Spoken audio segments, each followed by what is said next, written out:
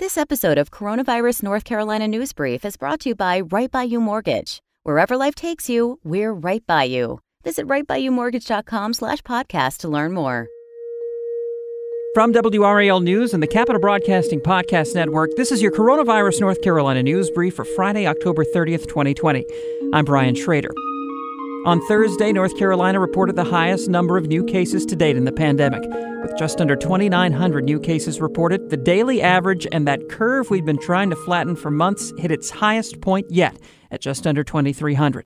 Dr. Cameron Wolfe from Duke, infection prevention specialist Jessica Dixon from Wake Med, and Dr. David Wohl from UNC all spoke with WRAL about the trends and why they should be taken seriously as we head into the holidays. Folks have been, I know, uh, under increasing pressure to frankly feel a little bit fatigued and to let their guard down and start gathering again. And and this virus isn't going to be fatigued. This is what happens. Um, we see numbers go back up again. And now we're at a point where it feels like there's no end point, and that's really difficult for all of us. You know, you can run a marathon because you know it's over at 26.2 miles. We're running something like a marathon, except we have no idea how long it is. Unlike some countries where we've seen a real dip, we've never really experienced a valley. We just keep experiencing peaks.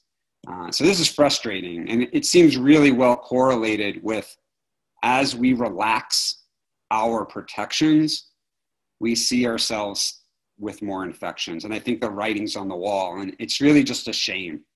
With Halloween this weekend, there are concerns about adults getting together with friends and family. Infectious disease specialist Jessica Dixon had this advice for people who are planning to celebrate. Don't eat as you go. Keep your hands clean. Gel your hands before you eat anything, or wash your hands before you eat anything.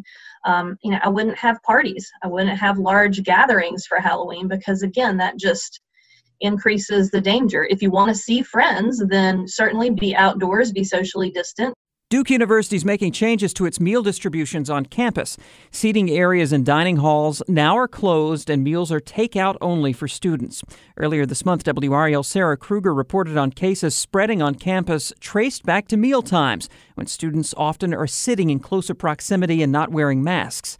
Duke says the takeout will remain in place until further notice. Meanwhile, at least four Wake County schools are dealing with coronavirus cases as they close out the first week of in person learning. Officials at Alston Ridge Elementary and Kingswood Elementary in Cary, West Millbrook Magnet Middle School in Raleigh, and Cedar Forks Elementary in Morrisville all posted notices about confirmed cases. On Tuesday, Nick Stevens from HighSchoolOT.com reported three coronavirus infections at three Wake County high schools involving their athletic departments. Those schools were Fuquay-Varina High School, Heritage High School in Wake Forest, and Panther Creek High School in Cary. And this has been your Coronavirus North Carolina News Brief for Friday, October 30th. Let us know what you think of the podcast. Leave a rating or review wherever you listen, and be sure to subscribe so you don't miss a new episode. I'm Brian Shrader. Thanks for listening. When it comes to buying a new home, you want to know that you're in good hands. At Right By You Mortgage, the dedicated team of lenders live in your community and are committed to being right by you every step of the way.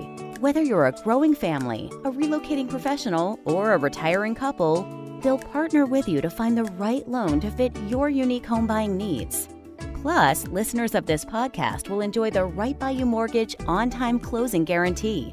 They promise to close on time or they'll pay you and the seller $500. Visit rightbyyoumortgage.com slash podcast to take advantage of this offer. Wherever life takes you, we're right by you. Go to rightbyyoumortgage.com slash podcast for full details. Equal housing lender, NMLS number 402136.